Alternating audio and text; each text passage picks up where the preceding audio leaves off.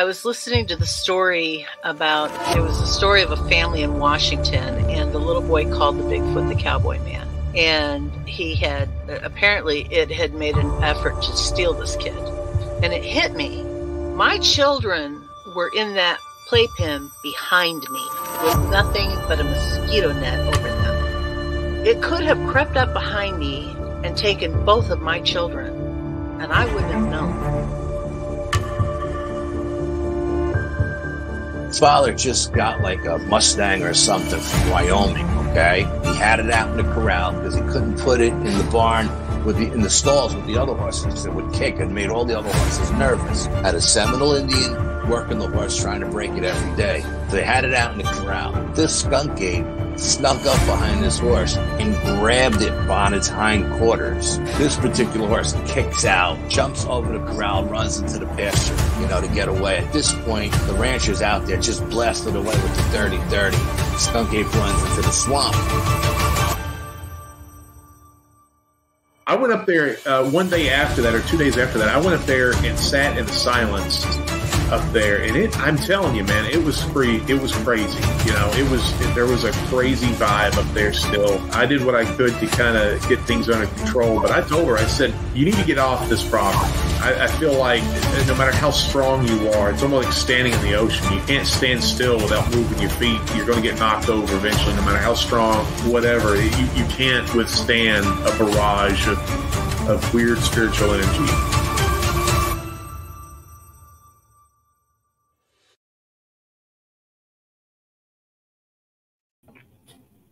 What's up, everybody?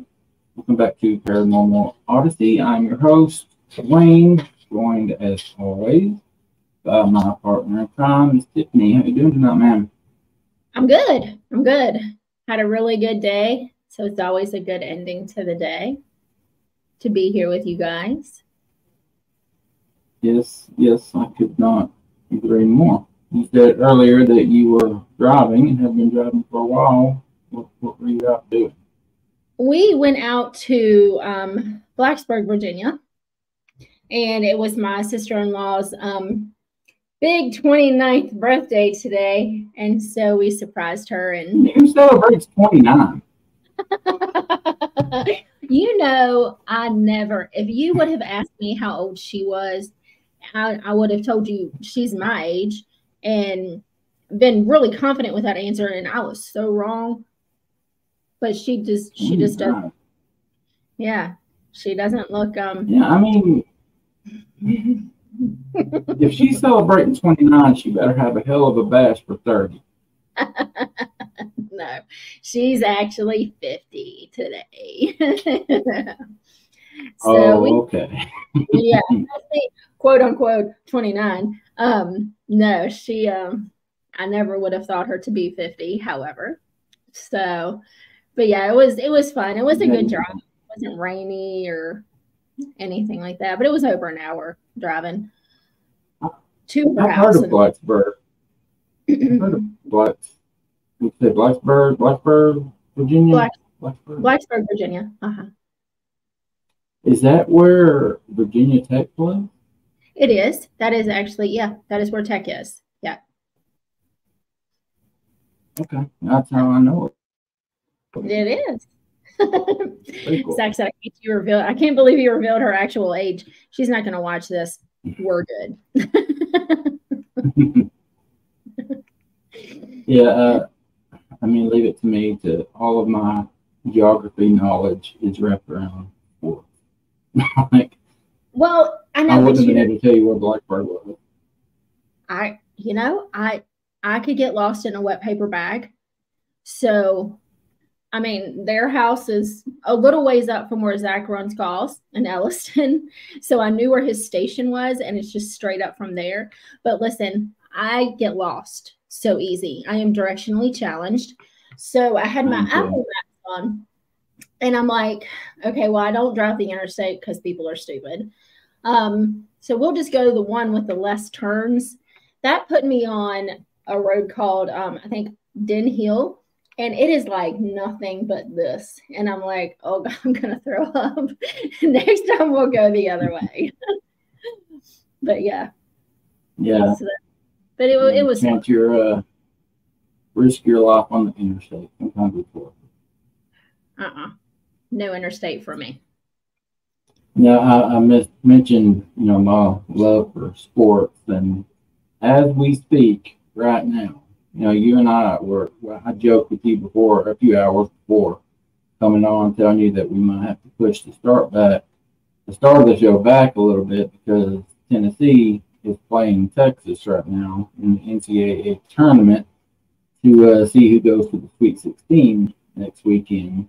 So uh, I will be checking my phone periodically, and that's a testament to you guys to, to show you how much I love y'all and how I did not cancel the show. I did not postpone. Uh, I'm going to hang in there and do it when my beloved Vols are playing. But wish them luck, and I will be checking my phone periodically to check Be strong. If they if they screw up and you start swearing, we're gonna know why. You will. I'll, I'll try to mute it. time. All right. Well, All that right. sounds great. we are we're already six and a half minutes in. We ain't even paid the bills yet. We got Miss Naomi Finn hanging out backstage with a very very interesting story that we're going to talk about. So let's get through these real quick. Okay. Guys, if you have not done so already, please hit that subscribe button. Has it popped up yet? Or is it? Oh, that's the ticker. There you go. Guys, hit that subscribe button. If you have not done so already, we would greatly, greatly appreciate that. And if you would like to come on with me and Wayne, we have three spots left for May. That's it. We're completely booked for April and we're almost completely booked for May. So if you want to come on with us, Wayne at paranormalworldproductions.com or Tiffany at paranormalworldproductions.com. All right. And that paranormalworldproductions.com is our website. Ask that you head over there and check that out. Pick up some merch. I'm hearing some kind of echo or something in the background. I don't like that. But maybe it's nothing. But uh, yeah, head over to paranormalworldproductions.com. Check out the other shows. Pick up some merch. All of that good stuff. Tell them Wayne sent you.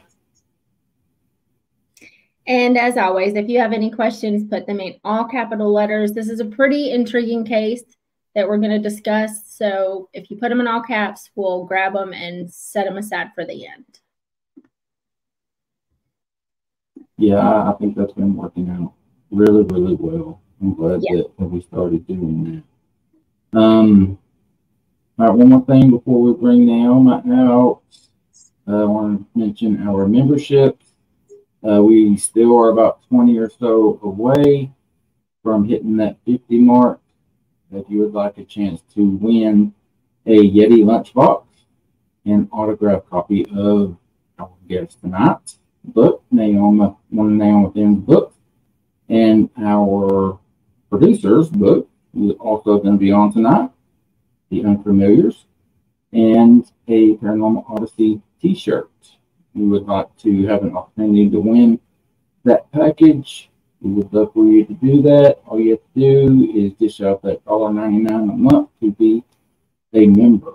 Yeah, I hadn't even thought about that. Tonight we're going to have both authors on the show, so that's pretty cool. That is very cool. Yes, yes, yes. See, Oh, we wow. are so much better than basketball.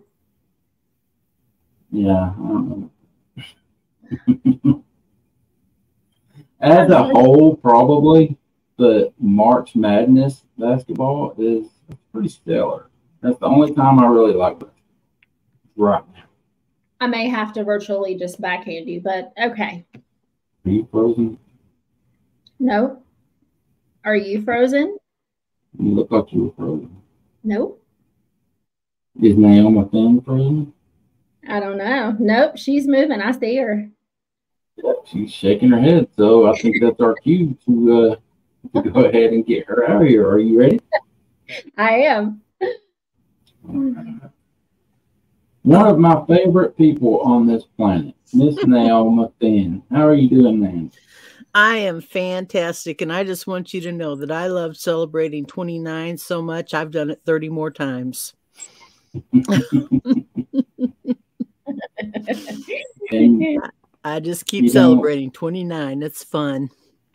yes. you don't look a day over 29, man. Ooh, gray haired at 29. That'd be scary. I'd shoot myself. I like my gray hair now, but I wouldn't have liked it then. well, in fact, I've had this little patch here since I was about 17, so I can tell you I didn't like it then. I know we were talking about Right, let me uh let me interrupt real quick here. If I am not mistaken, Susan Sullinger is the lady that's putting on our the event that you and I will be speaking at later. this Oh, year. She cool. just became a member. Thank you, Woo, thank We were just talking about her. Let me know. Good things. We were just talking about her right right before we came on. We were talking about you, and we Naomi and I were texting earlier today talking about you, and talking about about the event. Uh, let me know if that's you, Sam. I- I'm pretty sure it is, but yeah, awesome. I'm so glad to have you as a member. Cool.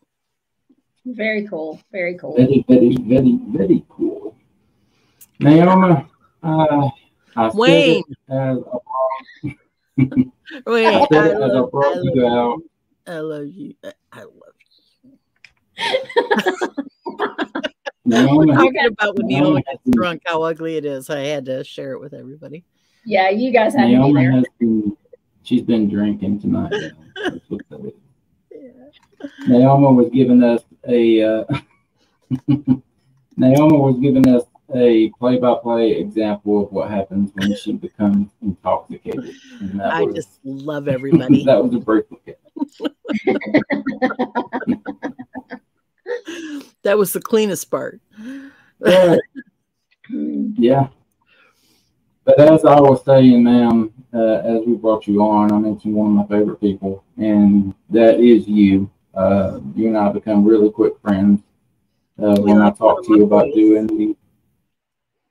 Uh, Call, call me mama because Uh, I love you.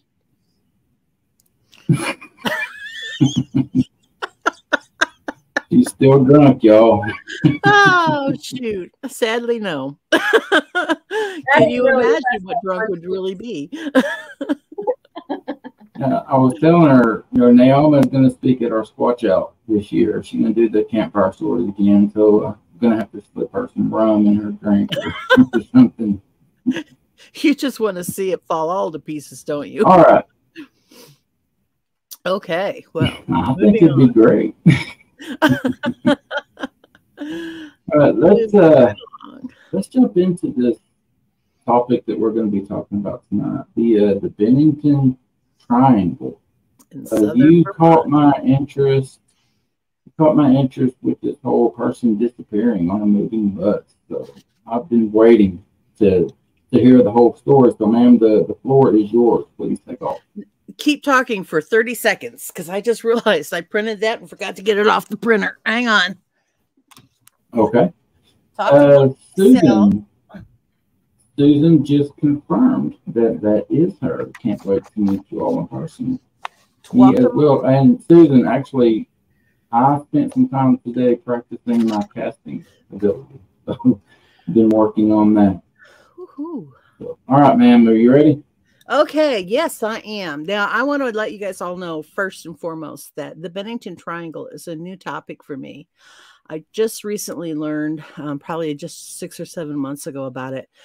How I found out about the Bennington Triangle is there's a lady named she she has a Facebook page called Lisa Lycan X L Y C A N X, and if you've been Lanita Bryant, hello.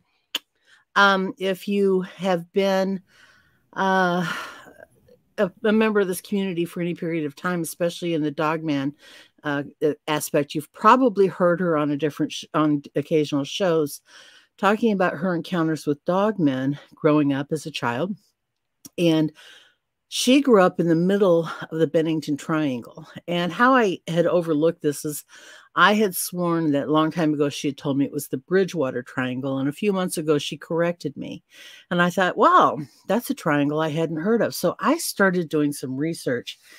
And let me tell you about some of the just crazy, crazy things about this. But I want to warn you because it's a new topic. I don't have everything committed to memory. My stories may not be on point, but I do have tons and tons of notes, so we're we're good with that. Um, the Bennington Triangle is located in southern Vermont and it's centered around Glastonbury Mountain. It involves towns like um, Bennington and Somerset and Woodford and Glastonbury. And even before Europeans came to this area, the Native Americans there had legends and lores about it. They wouldn't step foot on this mountain unless it was to bury their dead. They believed it was cursed. They believed that at the top of this mountain was where all the four winds came together and all the four winds blew at once. And the, the most bizarre story that they had about it was that the top of this mountain is a rock. And they believed that if you got up to the top of the mountain, people would want to climb up on the rock to look around and get a view of where they were at. But if you even got near the rock, much less on it, the rock would swallow you whole and you would never be seen again. And this is before Europeans ever even came to the area. Um, so when the Europeans did settle it, and I believe it was originally settled in 1761, um, they, it was not a happy area. It's never, especially the town of Glastonbury, it was never an area where people would you know that always there were mishaps there was always troubles and sorrows and um, except for a brief period in the 1800s when it had a lumber boom and uh, and they basically denuded the mountain in the process it was never a well populated area. And by 1937 they got down to having seven people in glastonbury and so they it became unincorporated. The government took away their their whatever it is that you take away from a town to make it no longer incorporated. Now, today there's still about six people that live there. And I will be honest with you, one guy who lives there says he grew up on that mountain. He has snowmobiled up and down that mountain. He's skied it, he's fished it, he's hunted it, he's hiked it, everything since he was a small child. And he's never seen or heard anything weird. But he would be the exception to the rule in this particular case. Um, I wanted to read to you a newspaper article I found from the Bennington Banner. It was published um, by on October 4th, 2008. The writer was John D. Weller. Um, just to give you an idea of just how crazy this place is. Robert Singley got lost in the Bennington Triangle on Sunday night. But unlike some who were lost before him, the Bennington College music composition teacher lived to tell his story. Right before I lost the trail, everything like crescendoed into this weird sort of dizzying confusion, Singley said Thursday. It just suddenly got dark, and then it was like, where am I? What's going on? I was totally lost. Singley, 27, went out for a day hike on Sunday at off of Harbor Road in Woodford Hollow, the exact same place where Paula Welden, who we will talk about in a minute, who was a Bennington College sophomore, was last seen 62 years ago, which has been longer now because this was in 2008. He was planning to do some composing. He'd been working um, on a string quartet. After eating lunch on top of Bald Mountain, he walked a short distance along the ridge line north towards Glastonbury, turned back, checked out the white rocks to the west, which was his landmark, and then started heading back east towards his car. He walked for four or five miles. He should have been at his car within three miles. I swear I was walking on the right trail, he said. That's when the fog rolled in and it started getting dark. Singley, wearing heavy boots, long shorts, a long sleeve shirt with a wool sweater and rain jacket, a winter hat, and mittens on the cold, rainy night, pulled his headlamp from his pack. It was broken. He had no compass, no GPS, no map, not even a watch. Unable to locate the trail, Singley found refuge under a large maple. I was kind of like drawn to it in the night, he said. It was really expelling a weird sort of, I don't know, a really weird haunting energy, whatever that means. An unexperienced hiker, I'm sorry, an experienced hiker, Singley stayed calm and tried to get some rest. However, he was too cold and wet to fall asleep. He started to work on a fire, but he kept stumbling upon large animal bones in his blind search for wood. He finally came across some dry birch and was able to start a fire with matches and pages of a composition book he had in his pack. The night was eerily quiet, other than the loon like call of a lone fisher cat. He started worrying, but only about his fiancee worrying about him. At this point, she had already called police, but the search was suspended until morning due to dark, foggy conditions. The sun would come up eventually, he thought, and then he would find his way. Once it was light enough, Singley, disoriented from the previous night, attempted to walk back toward his car. After three or four miles, he reached a wilderness sign. He was near the Goddard shelter, almost at the peak of Glastonbury Mountain. I thought I was camped about a quarter mile from my car, he said, and instead I woke up totally on the other end of this ridge, literally six or seven miles away from where I thought I was. I didn't make any, it didn't make any logical sense at all. Singley started walking back. He passed the maple but then the trail seemed completely foreign, like he had never been there before.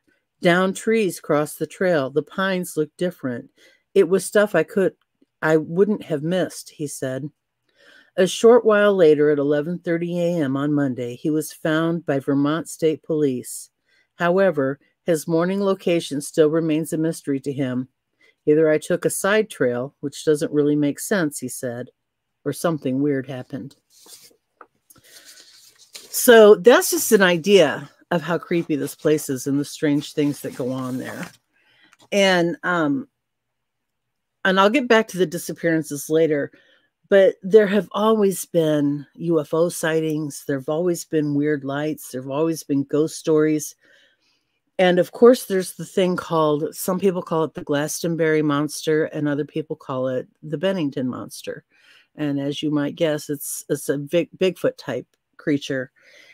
It was first sighted um, back in the 1800s, mid 1800s, by a couple of uh, hunters. They were out in the woods. They had gone there to, uh, you know, hunt, so they had rifles with them. They're walking along and they see this big hairy creature, two legged, come run, you know, walking out. And of course, they look at it and, you know, uh, naturally being hunters, you know, what else you gonna do? They shot at it, you know, because like, hey, Bubba, what's that? Well, I don't know, Marvin, but I think I'm gonna kill it. And that's what they did. They shot at it and they actually hit the thing, but they didn't kill it. They really just pissed it off. And mm. so this thing charges them. Now, I want you to remember this is the 1800s when a man's rifle is his meal ticket. These two men were so scared they dropped their guns and they ran just to get away from it. They were that afraid of it. And of course, you know, their story made the news, the local news, and everybody probably had a good laugh over it. But the men were convinced that they had seen a creature that they had no idea what it was. Now, it wasn't too long after this, and I think this happened around, I want to say 1871, 1879, sometime in that time frame. There was a stagecoach headed down a rainy, muddy road. Of course, nothing was paved back then. And it was raining pretty good, and or it had rained. I don't think it was raining at the time, but it had rained, so the road was pretty muddy and yucky. And they got to a point where they had to stop and look at the road because it was really bad. So the driver gets off the stage and he climbs down and he happens to notice that all around this big patch of mud that he's trying to figure out how to get around, there's these ginormous footprints. They're like they're huge. There's no way that a human being could have footprints that big. And while he's standing there looking at it, of course the people in the stagecoach they get out and they come around. They're all standing there looking around. This thing that's over six feet tall and i know that doesn't sound especially tall to us today but it must have been a behemoth to them because only in the last what 50 years has six feet become fairly normal. Um, that you know this comes charging out of the woods and it's so angry with them that it knocked over it put the stagecoach on its side. Now nobody was hurt. They all got away okay but i mean that's a pretty strong creature that could knock a stagecoach on its side and that creature is still i mean it's seen all the time even today and as as recently as um 2003 there was a man who happened to be out in the woods and he saw this big reddish looking bipedal creature walking uh, across the road in front of him and and went up into the woods. Now the local authorities and the the experts all said oh you just saw a bear. And the man said well maybe so but that was a very talented bear because it it never went down on all fours and it didn't seem to have any kind of problem walking. It walked very very well. And as you know a bear can do that but they really don't do it overly well. So um there have always been these kind of crazy things but the thing i think that is the most um, terrifying is the disappearances. And that's really what I'm here to talk about. Now, there are a couple of disappearances that happened in this time frame. One was in 1942. 13 year old Melvin Hills basically walked into the woods one day and never came out. They never found him. They never figured out what happened to him. He just walked into the woods and disappeared. And if you've ever been up in the Green Mountains, Wayne, do you want to bring up that map? Yeah if you've ever been um, in the Green Mountains, you'll know that uh, it's a really heavily forested, deeply. Um, it's it's a it's it's remote. It may not look all that remote, but it really is remote. The western point of that triangle actually is Albany, New York. So it's it's it's not unpopulated, mind you, but it's definitely um, a dense area. And by the way, that little excerpt I took, the the red point where it says Robert Singley's starting point, that is where the map showed me where that road is. If you see there's sort of a darkness that follows the river up there, that's the holler that he was walking.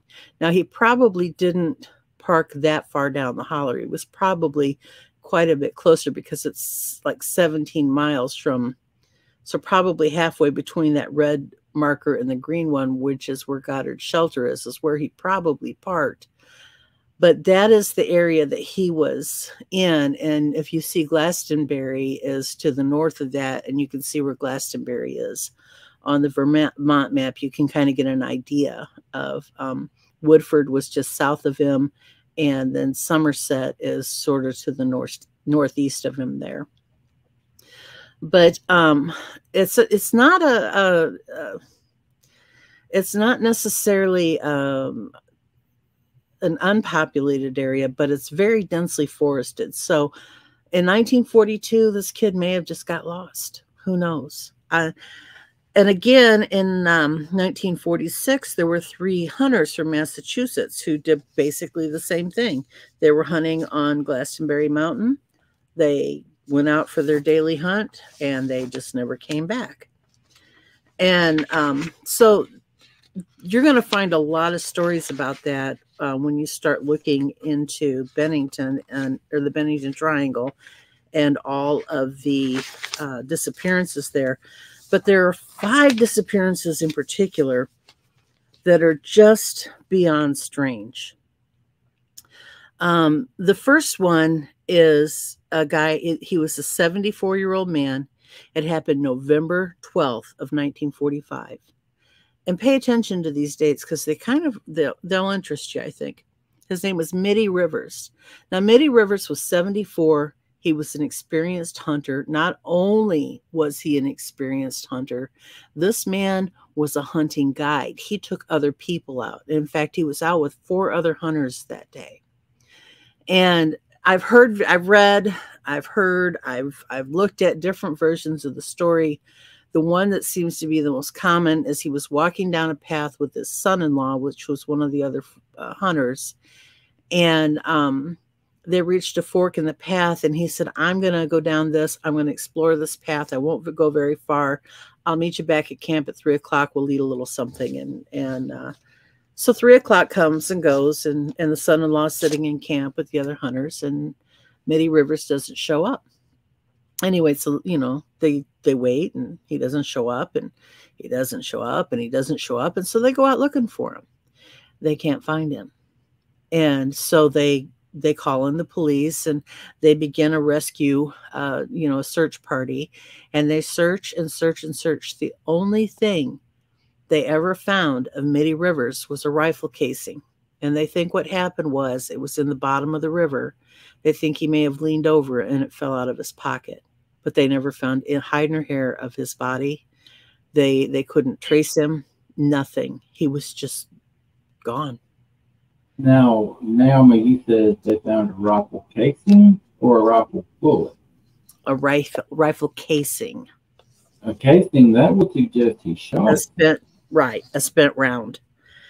Um I my my mind went the same place yours did, Wayne. When I saw read the word casing, I thought, well, that's a spent round, right? But mm-hmm. there's no indication in any of the encounters that I read that they thought he fired uh, his his gun. Um, if he did, he was not so far away from their camp that they shouldn't have been able to hear the gun go off when he did. Okay. Uh, I don't know. Uh, you know, maybe he picked up the casing after he fired earlier and dropped it in his pocket. Uh, it's there's no real it's really hard to find in these older newspapers um, a lot of detail a lot of the detail you'd like to have. Now there's a man the man who actually named the area is uh, his name's joseph citro c-i-t-r-o and he's a writer and he wrote a book about it in 1992 and i think he went up there he actually went through the the, the archives visited the historical society the library the things that Wade and Tiffany and I were actually talking about that are fun to do. And I think that that's what he did. And he wrote a really interesting book on it. And I think he's a lot more detailed. And um, I have the book on order, but of course it hasn't come yet. But um, so then we go forward. That was in November 12th of 1945. December 1st of 1946, um, what that's a year and maybe two or three weeks later, there was a young college student. Her name was Paula Welden. She was 18 years old. She worked at the, she was obviously a student at Bennington College. And yeah, that's her. And she worked at the canteen, or maybe she worked at the bookstore. I don't remember where she worked, but she worked at the college. And uh, she just finished her shift, finished her shift and she decided she was just going to go for a walk, clear her head, you know, enjoy the day. She takes off on her walk. She is seen on the trail by one man who she had actually stopped and asked directions from. And then she's seen on the trail for, by a couple who saw her walking in front of them and she rounded a, a turn in the in the path and by the time they got around that same turn she was gone that was the last time that she was ever seen. And this is just off of what is the name of that road that I said earlier that uh, Singley was on? Um, uh, something Hollow Road, Woodford Hollow, yeah. I believe, road or no, uh, th- that's he was on Woodford Hollow, but uh, the road was. Until I'm I'm really organized and prepared for this in my defense, I didn't know I was going to be on the show until a couple of days ago. So, um, okay, another another cancellation. I'm sorry, I shouldn't have outed you, Wayne. My bad. No, you're but, fine. Um, Harbor Road. It's just after she crossed Harbor Road, and she was never seen again. She was wearing a bright red jacket, so she should have been easily found. At least her body should have been, you know, stood out if it if she had had a fall or if an animal had attacked her, there would have been some kind of traces of clothing or blood or body parts. There was nothing. They never found her. Now, her case wound up making national news, and so she is actually the most famous uh, disappearance off of Glastonbury or um, out of the Bennington Triangle. But um, there's no evidence that there was absolutely no evidence. And interesting, interestingly, Shirley Jackson actually wrote a book called uh, "Hangsaman," which is actually based on her disappearance. Of course, it's a fictionalized version, but so that was December 1st of 1946, right? December 1st of 1949, we have James Tedford. And this is the one that I think is just the most bizarre story I've ever heard. James Tedford was a 68 year old war veteran. He was living in the Bennington's Old Soldiers Home back when they called it an Old Soldiers Home. And uh, he happened to be visiting family up in St. Albans, which is at the clear northern part of Vermont. He happened to be up there visiting. They took him to the bus station. He got on the bus. Um, I'm sorry, that was my phone. Uh, he gets on the bus, bus takes off. They make a couple of stops. They get to Bennington and he's not there.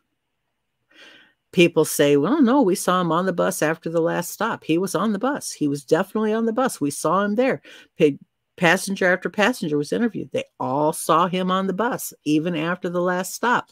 But when they got to Bennington, all that was left of him was his bus route timetable and I think maybe his ticket. He was never seen again. How do you explain that? I don't know. Oh, his luggage was on the bus too, uh, but he was nowhere to be seen.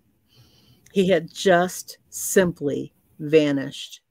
Now, I will tell you that there's a discrepancy between the amount of time, the day he vanished, and the day that it was reported that he vanished is about a week. Um, and so the people that they interviewed actually had a week to forget about the trip. Yeah. But I don't think that when you pull however many people were on that bus into a room and to a person, they all say, No, I saw him uh, on the bus after the last stop, that I don't think that there's too many people that agree with that. You know what I'm saying? Yeah, at least one person would have had Yeah. Yeah, they would have said. And, and the other thing is, there was never anything found of him. Nothing. And, like he didn't show up 20 years later someplace having a new life. They didn't find remains anywhere. They didn't find any indication that uh, he actually he was living in the old sol- soldiers home but according to newspaper articles he was actually visiting his wife in st albans so eh, there he was not living with his wife so if he was trying to escape her it wasn't necessary. He was living a state away from her.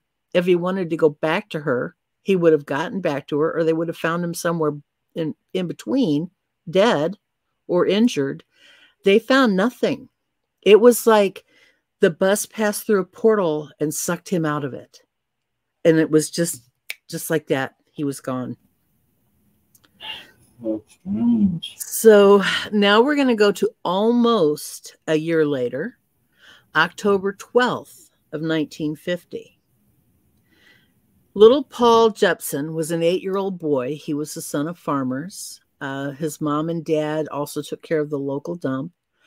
Um, he, mom had put him in the truck. She was going out to take care of the hogs. She drives out to where she's got to go get out of the truck and slap the hogs. It's 1950. This is a time before everybody had to be a helicopter parent. And she's like, Don't get out of the truck. I'll be back, you know, as soon as I can. She's gone for an hour doing her job. She comes back, he's gone. Of course, the first thought is, Well, he's eight years old. He got out of the truck and wandered into the woods.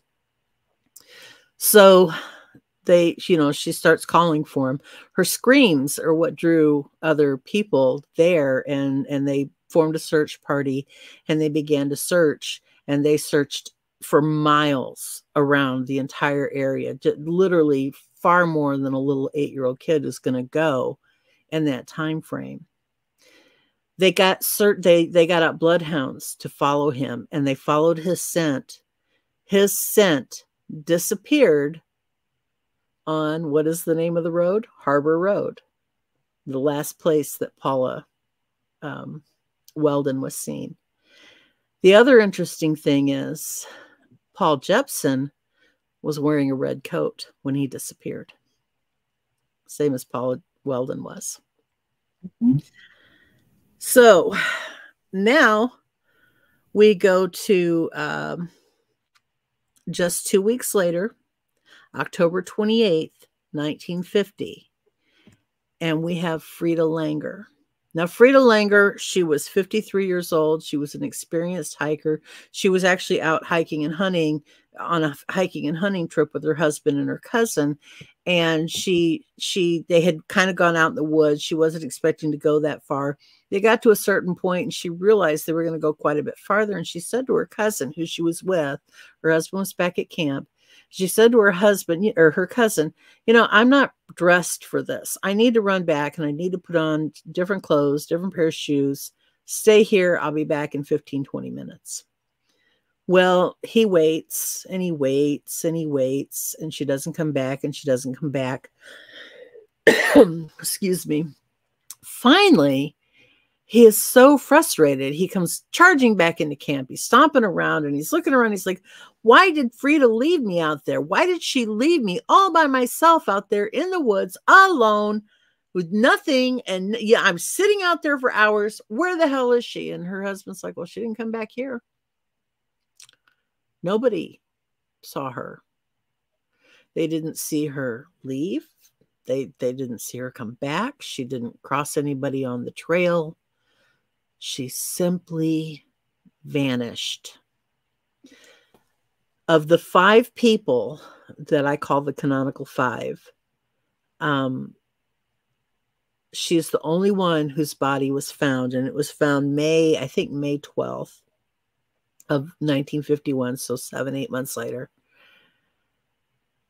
They found her body in deplorable condition. Of course, imagine. I mean, it sat out there in the woods all winter. I'm sure there was a lot of of of um, decaying going on and a lot of feeding going on, but it looked like she had been mutilated. She was just torn to pieces.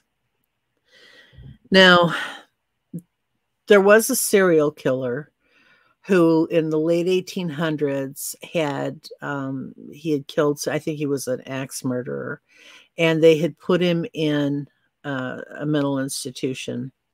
He had escaped i think in the 1920s and had just basically disappeared into the mountains. Some people say he's another victim of the mountain. Some people say that's where he hid out and that these people and part of why people say that is because of the, the cluster of dates. The dates all occur in October, November, December. And it, when you look into the psychology of serial killers, there are certain things they might, you know, um, you can, some serial killers, you can almost count the days and know that this is the next. Some serial killers only, uh, you know, attack on a full moon or some only certain times a year and so a lot of people argue that that's part of uh, or you know that this is just a serial killer but by the time you get to 2024 and you look at all of the disappearances that have happened on Glastonbury Mountain, and there have been a staggering number of disappearances on Glastonbury Mountain. That serial killer would have to be over 100 years old. yeah. and really probably even going on 200 so yeah i don't think it was a serial killer. A lot of people think that it's paranormal forces. Um, a lot of people think that you know there's just some kind of uh, demonic energy. Um, there have been reports of demonic activity much like with the Bridgewater Triangle, mm-hmm. which is another triangle that I find really fascinating in Massachusetts. There was a demonic cult that was operating in this area. Um, there are people who say that uh, there may have this might be interdimensional phenomenon that um, or phenomena multiples um, that you know these people are simply walking through portals. Yeah. If i if that's the case though wouldn't everybody on that bus have disappeared if the bus that's passed through a portal? And that's that is why i don't think that's what it is. Of course there have been multiple ufo sightings in that region. There are there's a, a story of a weird light that um, people see in that area and so perhaps Um, maybe it's this UFO abduction.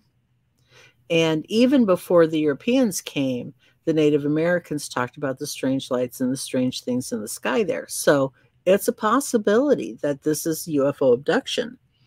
Um, I, I would be more inclined to believe that. And of course, there is the uh, the Bennington monster.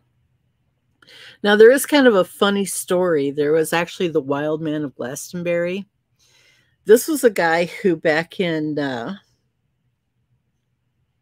gosh, I don't I never wrote down a date, but this is a real person. He was sort of a he was a local guy, not quite right in the head, lived in a cave up on Glastonbury Mountain would come down to town wearing nothing but a trench coat and he'd flash all the ladies and, and he'd wave around a pistol.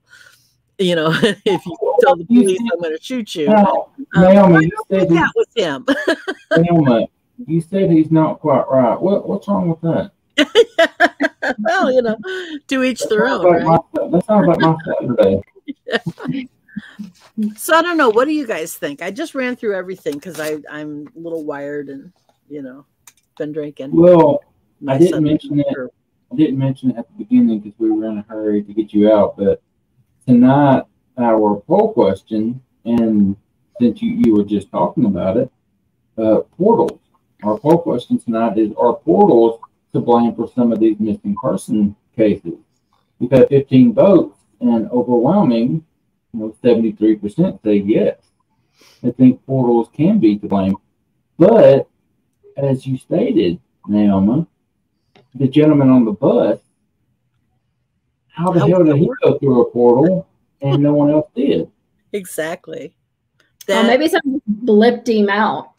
Just it's strange. It is. It you know, the the one that I find actually um I think that has our answers for us is uh Robert Singley. Is that his name? Singley, I think was his last name, the Mhm. college professor or the college teacher. Um I think he actually, if you really, if you sat down with him and really picked apart his story, I think you're going to find a lot of the answers. Now, I have to admit, and part of the reason why I don't go in the woods anymore is because I'm not very bright. Um, and I have been walking up a trail, straight up a, a, a well marked trail, get to the point where I'm going to turn around. I start back down, and I suddenly realize that the trail forks off this way. But when I was coming up, I didn't see that fork coming in.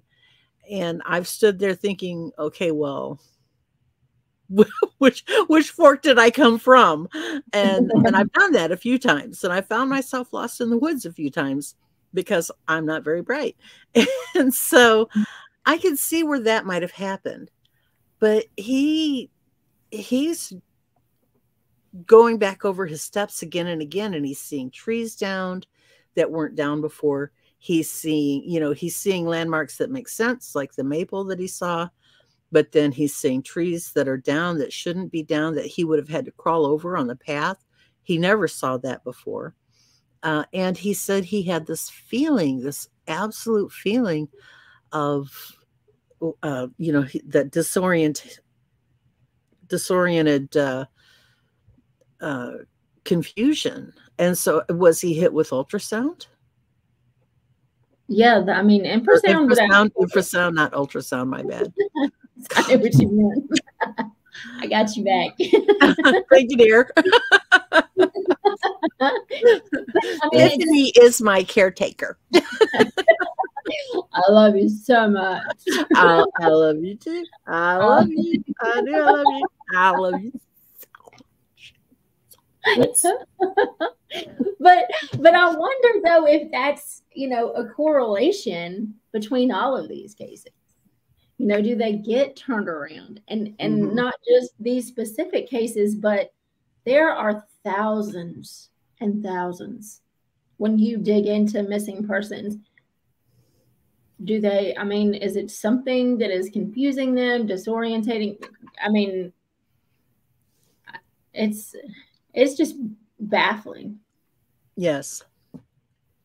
It, it is. I mean, and the only, the only body, the only one of the of the ones that I've discussed, besides the one who actually walked himself out of the woods and was found alive. The only body that they found was horribly mutilated. Um, And don't you hear of that? You have the UFOs that come down and horribly mutilate, mutilate cows. Well, not only cows, but I don't know if you're familiar with the Cunningham incident in uh, White Plains in the 1950s. I'm not. Um, and I can never remember. It starts with a B, and I can never remember the other guy's name. But uh, Cunningham was a major. The guy whose name starts with a B was a sergeant. They had done missile testing. It was their job to go out and pick up shrapnel and and debris so that they could bring it back and test it. They get out there about dark. They park their jeep. They start walking across the testing range. Of course, it's just sand dunes. That's all White Plains. White is it White Plains? I'm not saying that right. White Sands, Silver, whatever it is. It's where they mm-hmm. do this testing in in New Mexico. By the way, also very close to where the Roswell incident happened. And so they're walking around after dark. Um, the I wish I could think of his name. It makes me crazy because I knew a kid named Robert somebody, and if I could remember Robert's last name, I'd remember this guy's last name because it's the same. But um, he breaks off and he walks over a sand dune.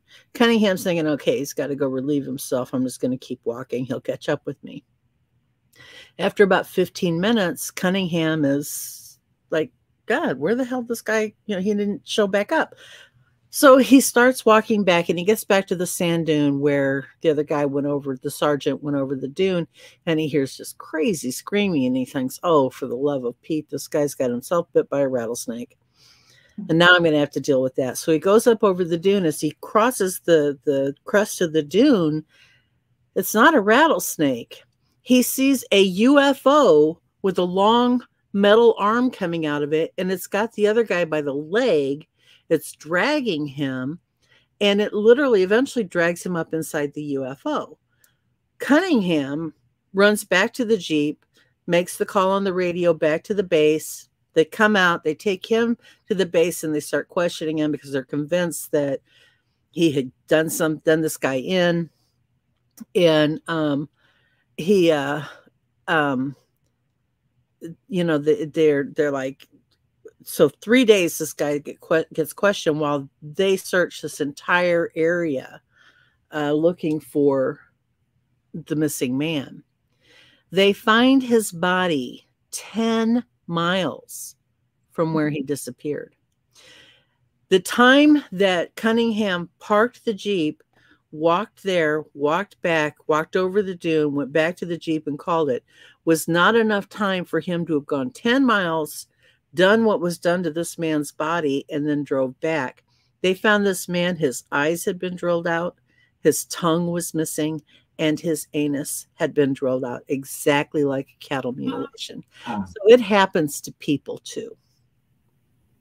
that is disturbing. That is extremely disturbing. You lost me at anus drill. All right, let's uh, let's Well- some of these questions. That uh, what were you going to say, Naomi? I was just going to point out that there are several cases like that that have popped up over the years in South America. There were two young men that were found by a dam in South America. I think in, uh, I want to say it was either Argentina or Colombia. Their bodies were found exactly the same way.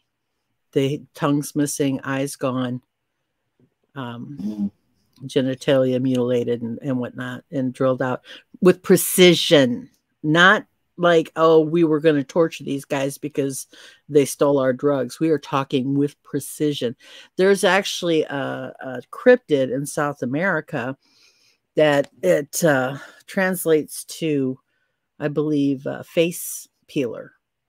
Because they are they find people whose faces have just completely been peeled off there. Mm, the skin has been all they have is a skeletal face remaining. I have heard that. I just I think there is I think there is just so much more when you really delve into this whole thing. I think it's almost like you're on the verge of figuring it all out. and then something comes in and throws a wrench in it. I just think there's more to all of these people going missing Yes. than they're just There's certainly And I don't Sure. think there's a single answer. I really do think that um, I, I think that some cases this may be what caused it, and some cases this may be what caused it. I don't think that my story or what I believe is the only answer. I think that there are multiple things going on, and that's why we'll never solve it because everybody wants one definitive answer, and you're not going to get it. You're never going to get the one definitive answer. right. Yeah, that's a very good point. All right, we're going to get to the questions, but before we do, we have some late breaking news.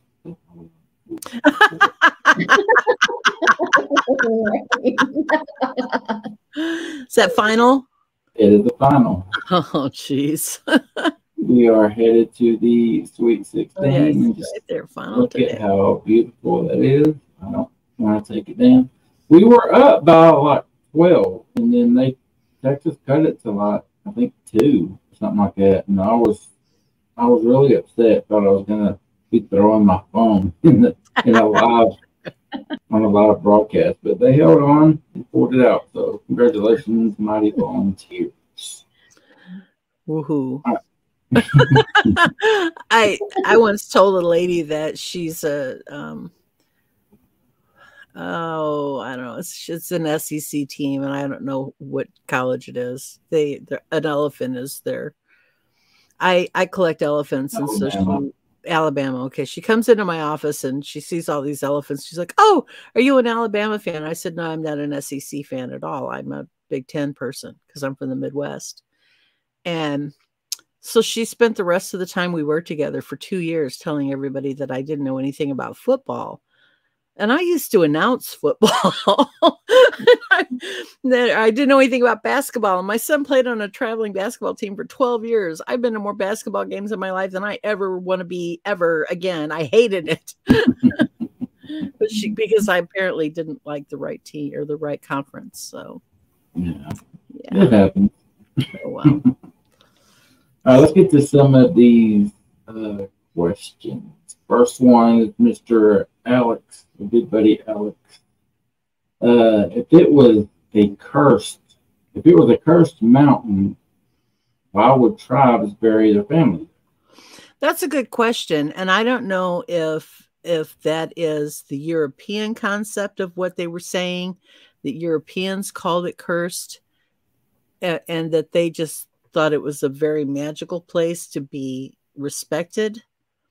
I would go more with that if they're willing to bury their dead there, but that was the only time that they would come up on that mountain, and they warned Europeans to stay away from there.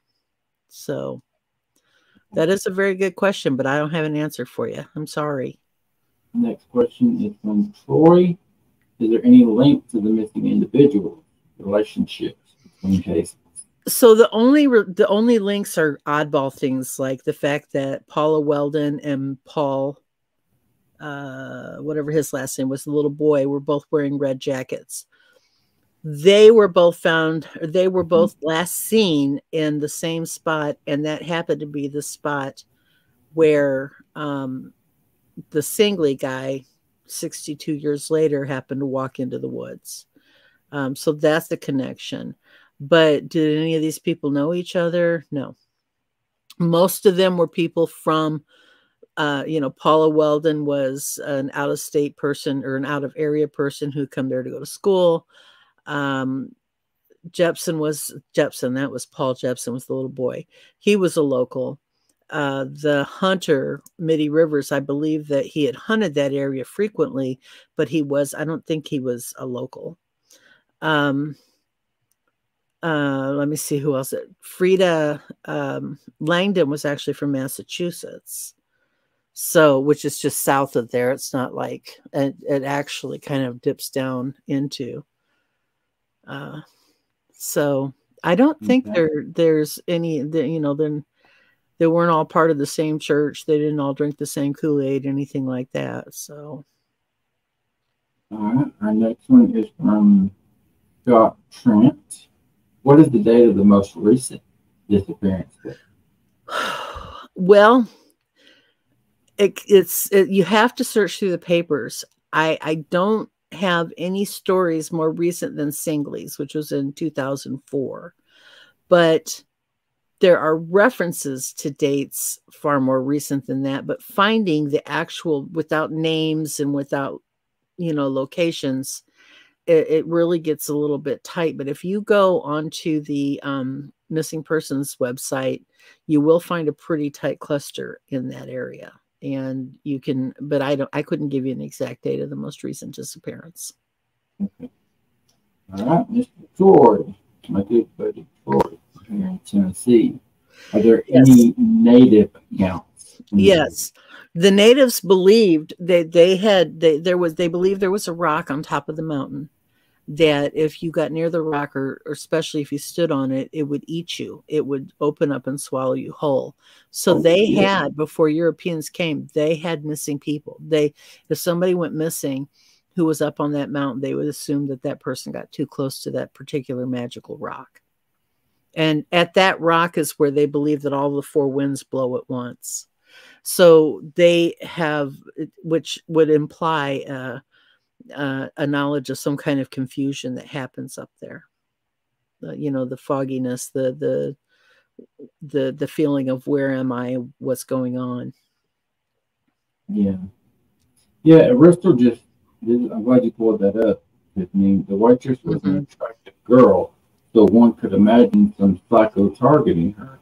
But the way she just disappeared, yeah like the like that negates that, especially it was an impromptu walk she took. And I was thinking the same thing because she was an attractive young lady. yes she was And, And- yeah. yeah and she was a responsible person she wasn't plo- prone help me tiffany I'm so drunk, I can't talk. Anyway, no. she wasn't prone to um, doing irresponsible things like just wandering away. She she was a, a a good student. She was a pretty girl, and yes, it's I I think if you were going to assign any of the of those particular five cases to a serial killer, hers would be the one that I would assign. If I Mhm. were going to assign any of the five cases to a cryptid attack, I would be Frieda uh, Langdon, the last one. If I found were, that was one of the pieces. yeah, if I were going to assign any of them to a UFO, it would be the man on the bus, uh, Yeah. James Tedford. Um, yeah, but I what's mean, the chances of all of those happening in that one confined period?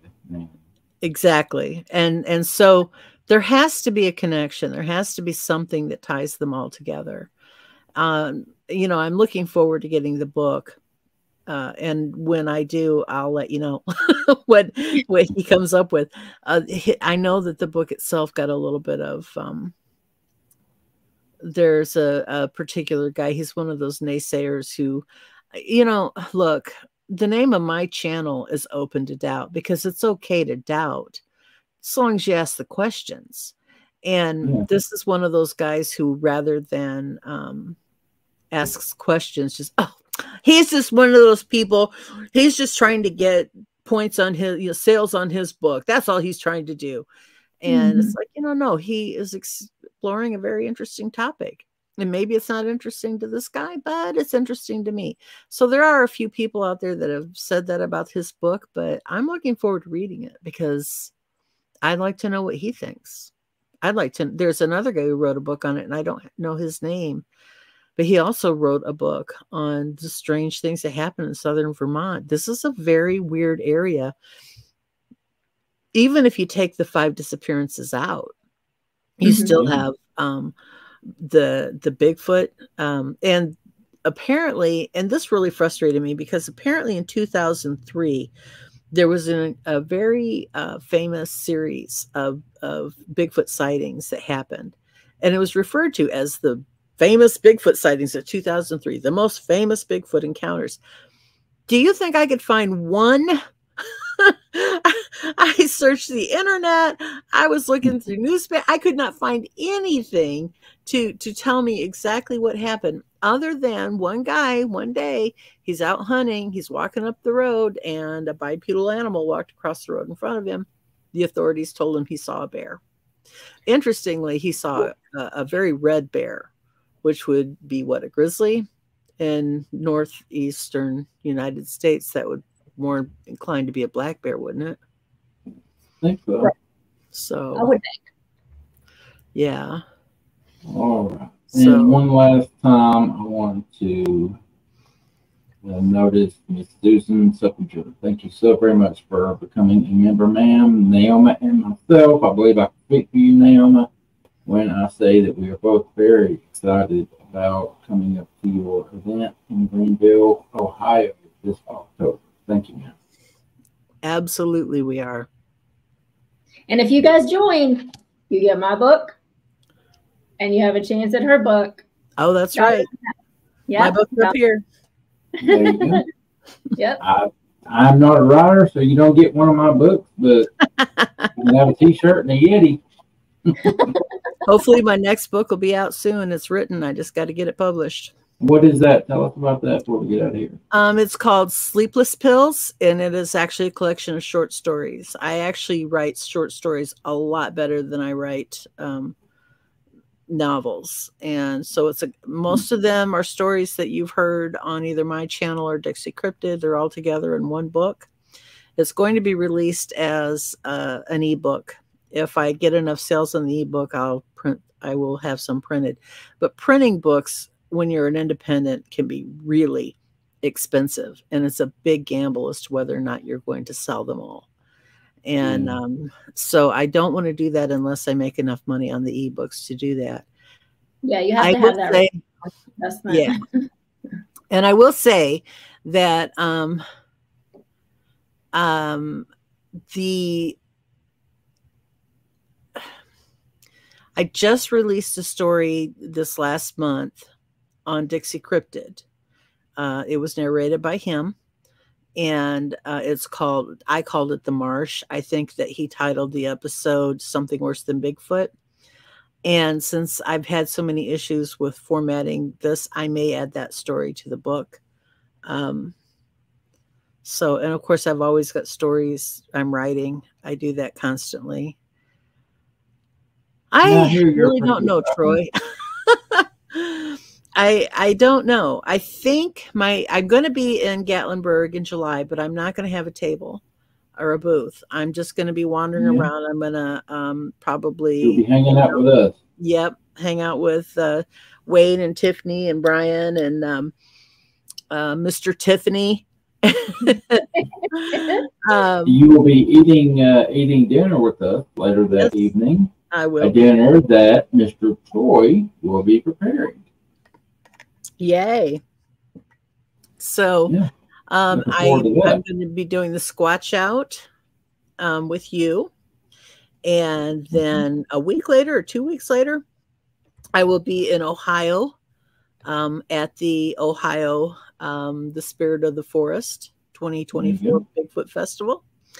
And I'm waiting. I'm. I want to get a booth at um, the Montgomery Bell uh, Cryptids uh, conference When is Uh, that? there's a lot of people that's in uh, uh, burns tennessee and that it's west of me a lot of people Mhm. love to hear my werewolf springs story and that's where werewolf springs is so Now, when I- is that now? oh when is that that is i think the week after the ohio one i think okay. i i'm waiting um i have to do things in in bits and pieces you know poverty sucks don't be poor don't be poor you Be rich. um i'll do the drunk lady for the rest of my life. Um but uh and it costs to you know it's expensive to get into these things. You have to pay for the booth and you have to pay Yeah.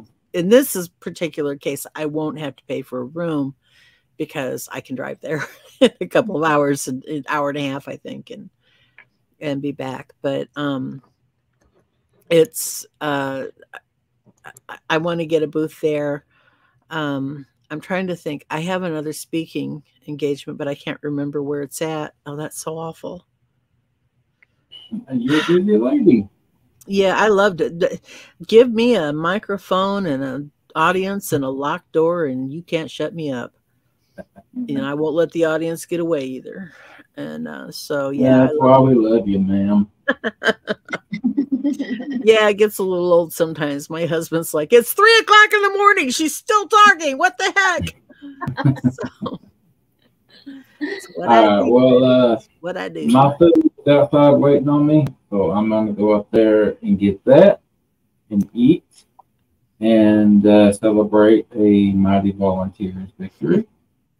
And yes, And is going to be there. By the way, I just saw that question or that statement.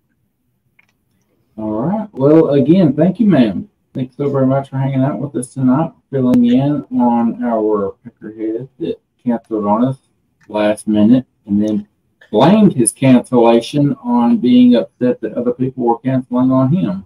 Hmm. Oh no, What sense does that make? I'm available. we always love having you on. You're like, we Yeah, love having you. you, I'll talk. You know you have a standing invitation where I'm concerned now. I'm Yep. always willing to take you up on it. So, All right. You enjoy the rest of your evening. good night, everyone. Love Bye. you.